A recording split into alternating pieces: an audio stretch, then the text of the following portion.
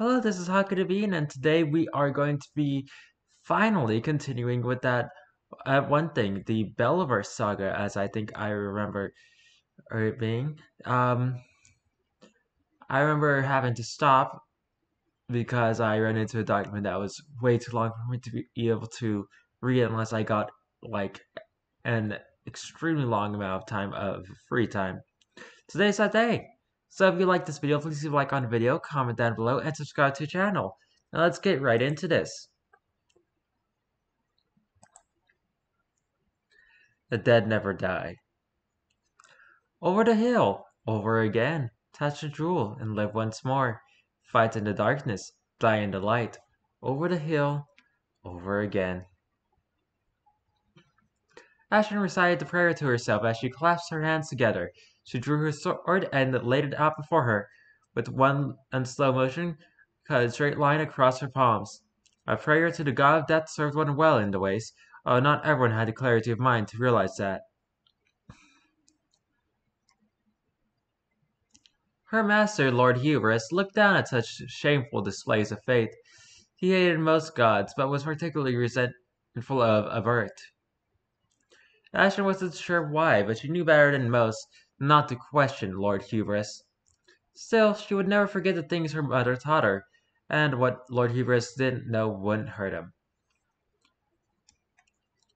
The dunes weren't more than two days' walk from Portsmouth, and Ashton spent the majority of that time wondering exactly what it was Lord Hubris wanted from this Saito. He'd been particularly interested in one of the old wonders, something square, made of metal, with a face of black and white. She hoped she had enough room in her satchel. Somewhere in the distance, the undead shuffled through the sands. Their old home, the Saito, lay half buried.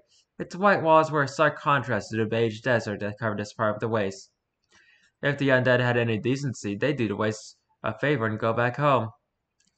But the new men were exceptionally uncouth. Their behavior was more than enough to drive the most sensible travelers away. And for some reason one were to think about approaching, the overwhelming amount of them in this part of the waste would deter almost anyone. Almost. Astrid slipped by the horde, trying her best to move with the sand as the breeze carried it toward the Saito.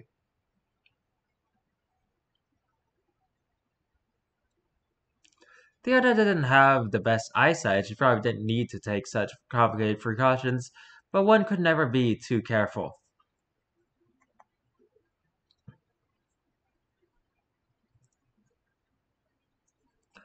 She got open the door to the Saito with the, circular, the circular blade she procured earlier. Careful not to make too much noise. The undead were ways away from her, but sound traveled far on the sandy winds. Once a person-sized hole was cut into the door, Ashton descended into the Saito.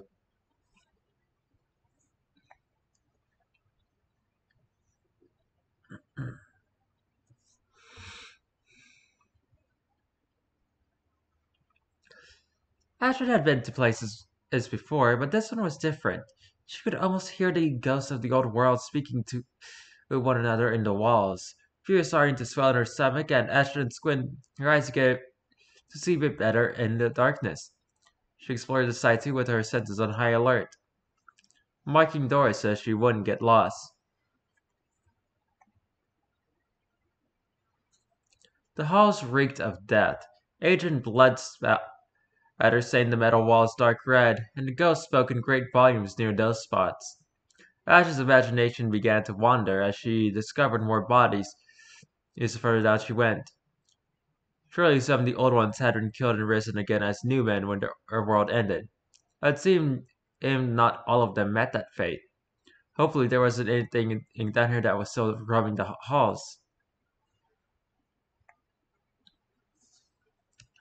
Ashlyn steeled her nerves.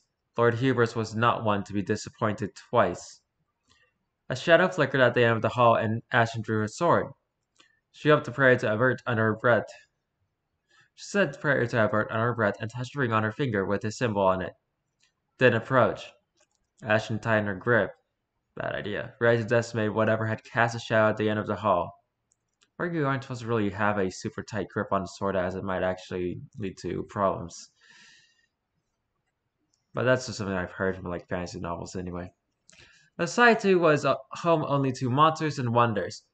A lesson Ashlyn learned when she was a much younger, more naive explorer. She held her sword high above her head as she crept around the corner and braced herself. The only thing she saw was a small, familiar creature staring back at her with beady eyes. It was about half her height and far too fluffy to be spelunking on its own. The creature barked and smiled back at her. Ashlyn wondered how it got this far down unharmed, and then she spied the hole in the ceiling that led to the surface. She shook her head. Alpine, you foolish beast, you, you scared me back half to death.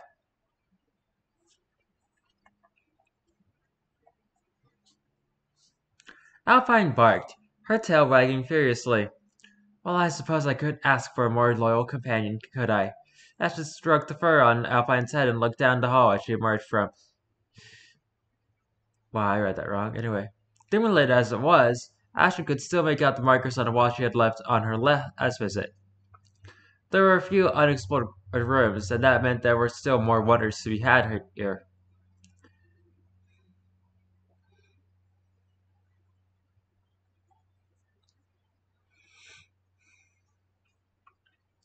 Ashlyn was usually far more cautious than this. She would often abandon the Saitu the second she heard a noise she couldn't recognize or see something even remotely frightening. But Alpine's sudden appearance gave her a renewed sense of confidence. The dog could drill holes through solid steel like it was swimming through water.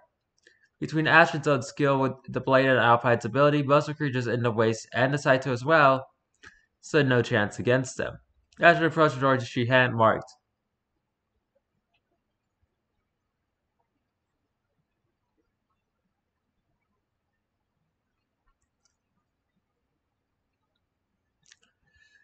The strange device that hung on the wall, on the door's right, it, it had a red light above nine strange symbols. The symbols were from the old times. Ashlyn had seen them before in the ancient text. She did not know what they were, only that pressing down on them in the right order occasionally opened doors in the Saitu. It's a key. It's a um, passcode. One of those um, blocks that are that you open with by pushing certain numbers in a certain order. I think they're called keypads. I forget.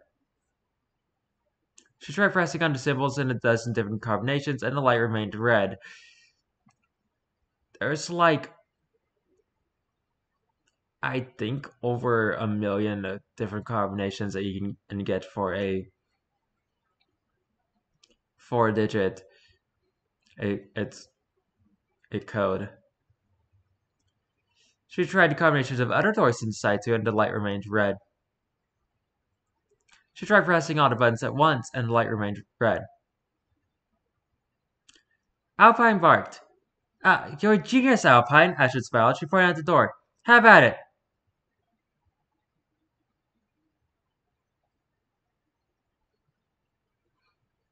Starting to feel like Alpine is more or than a dog. The beast beside her barked again and started shaking as if he were trying to dry himself. Soon he picked up speed, and soon after, her Alpine's body was little more than a blurring mess of rotating fur. The ground trembled as Alpine stepped forward. His nose pierced the metal with ease, and soon after that the door slid open. The stench of ancient air and assaulted Ashlyn's nose. She cringed.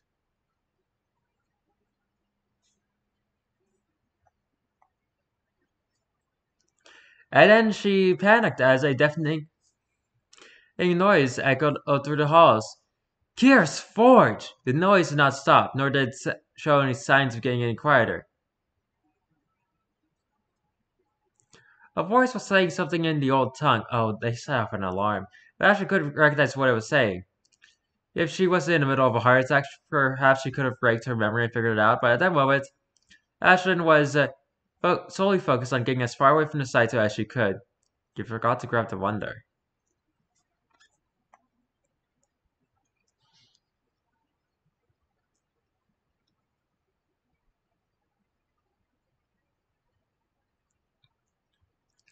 Ashlyn snatched the object from within the room and stuffed it in her satchel. Luckily, whatever lived in the room before she discovered it was is small, although in her haste, Ashton didn't get to look at what she had grabbed. All she knew was that it was a metal cube. She forgot to avert that it was the wonder Lord Hubris asked her to find. Alpine was barking up a storm just outside.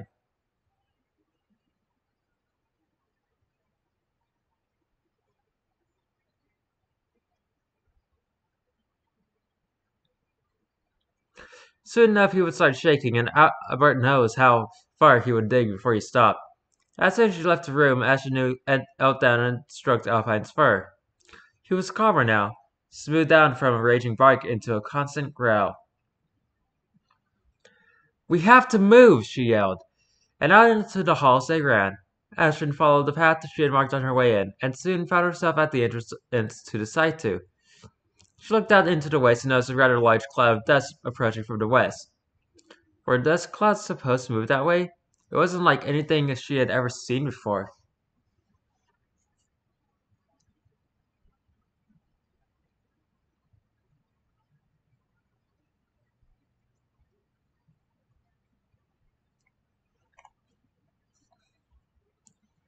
Were those people?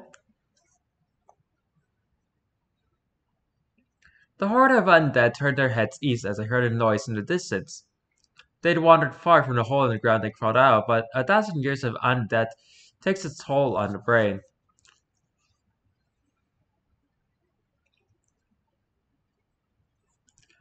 After a few years of walking in one direction, they all eventually stopped, stopped wandering and started waiting. They were human ones, as all new men were.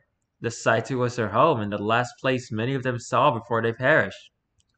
A few of them came here for salvation before the old world ended.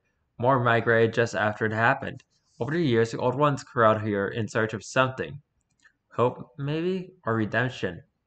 Either way, they all met the same fate.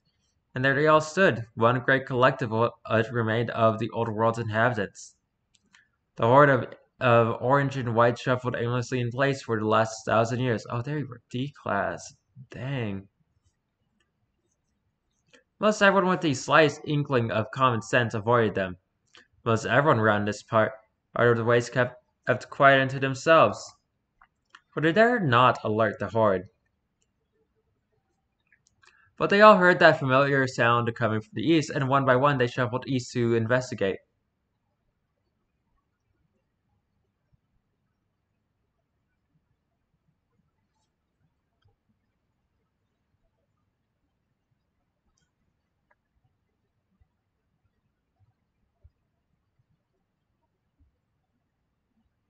Ashlyn's heart it leaped out of her chest as she realized the dust cloud was coming straight for her. She had an easy time sneaking around the new men the first time. They hadn't been paying any particular attention to anything before.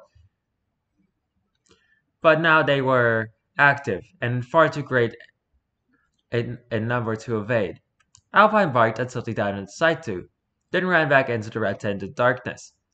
Ashlyn swore and ran after him. The stupid beast was her only companion in the ways, and she would be sent to the afterlife before she let something happen to him.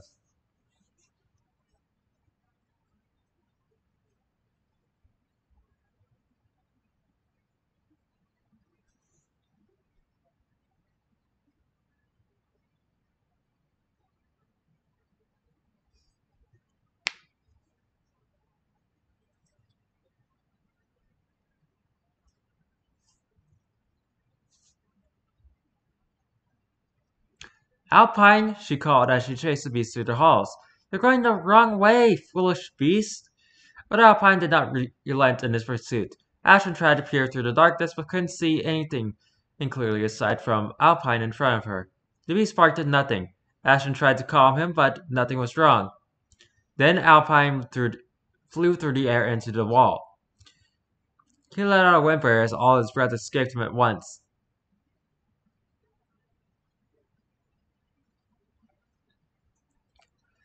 Ashlyn's heart skipped a beat. She lowered her sword so that the tip was level with her chin. She couldn't see whatever Alpine and could, but it didn't mean it wasn't there.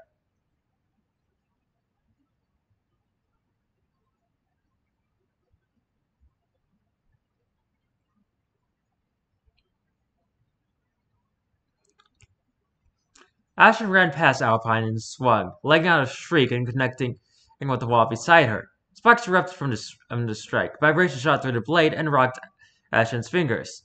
Her arm was trembling, but she didn't pay any mind. Alpine was breathing heavily on the floor.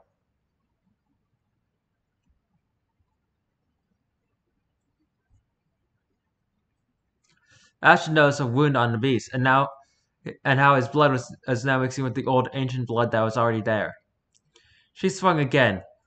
Again her blade met the wall.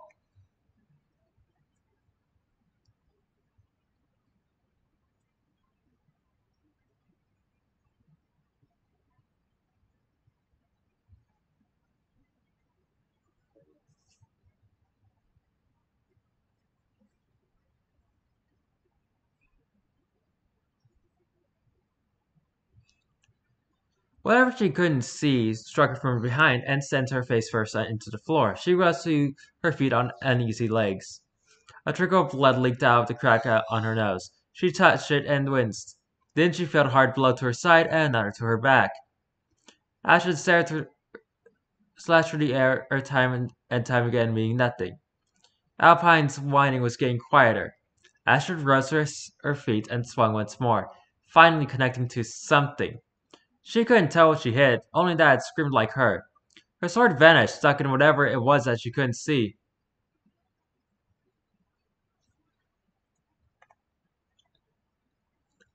It said something in the old language, then cursed her, her in the common tongue. Uh, God damn it! The unseen said. The unseen thing, thing said. Her sword appeared out of the air, clattering on the floor. Ashton, understandably confused, ran to comfort Red Alpine. The bleeding was mostly superficial, and Ashton said a quick prayer to avert.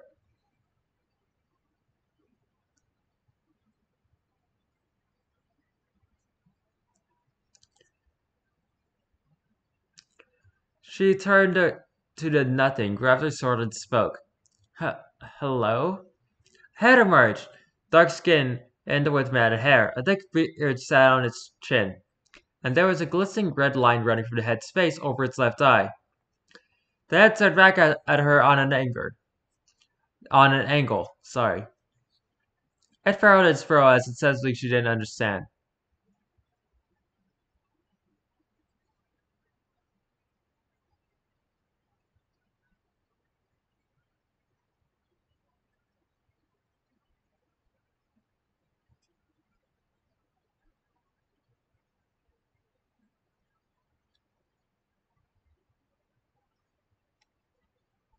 What? They had something else, this time sounding but different from the first language it spoke. Ashton still didn't understand. I don't understand. The head sighed. It appears I must speak this guttural language of yours. The new men will be upon us soon. You need a suit. You could have killed Alpine. You triggered a breach.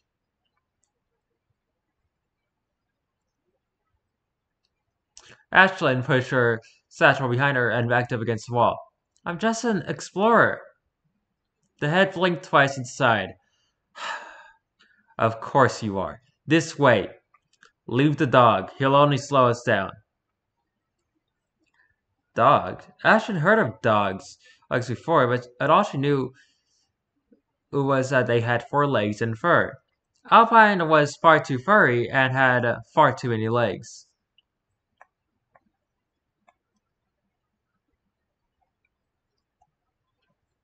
Either way, Ashton scooped up Alpine and, and after the head. It led her down further into the bowels of the Saitu. Down twisted corridors with cracked floors, rusted walls, and splattered blood. The voices of the ghosts rang in her ears even louder than the noise screaming at her overhead. They stopped at a room. The symbols next to it pressed themselves, and the door opened. Inside was a yellow mass of machinery, unlike anything Ashton had ever seen before. It looked like a human, only larger and far bulkier than it ought to be.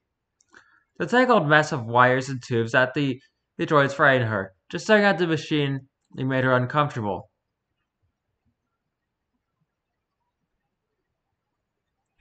Get in!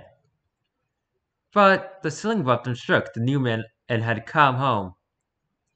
Get in the damn suit! Ashton looked at Alpine. The beast stared back at her, but it was so weak. She placed him on the floor and sealed her once again. She said a prayer to avert and placed and approached the machine. It stared back at her through a cold, unfeeling helmet. It was alien to her. Another term from above drove her to step inside.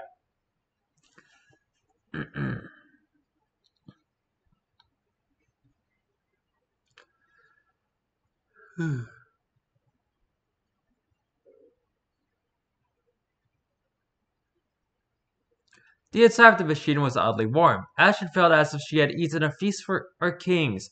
All her fatigue disappeared almost infinite, instantly. She rose on uneasy feet and looked down at herself. Alpine was on his feet now and started barking. Good, the head said before vanishing. All we've got to do now is wait. Why are you helping me? she asked. I'm not. Before Ashton could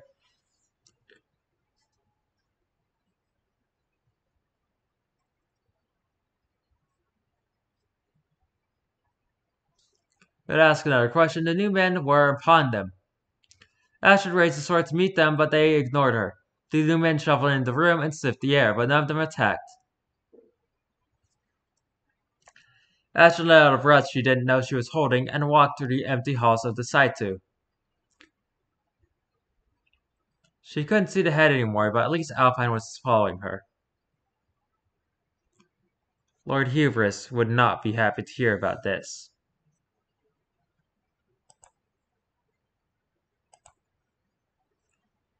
And that was the um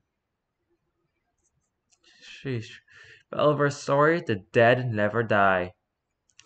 If you like this video please leave a like on the video comment down below and subscribe to the channel.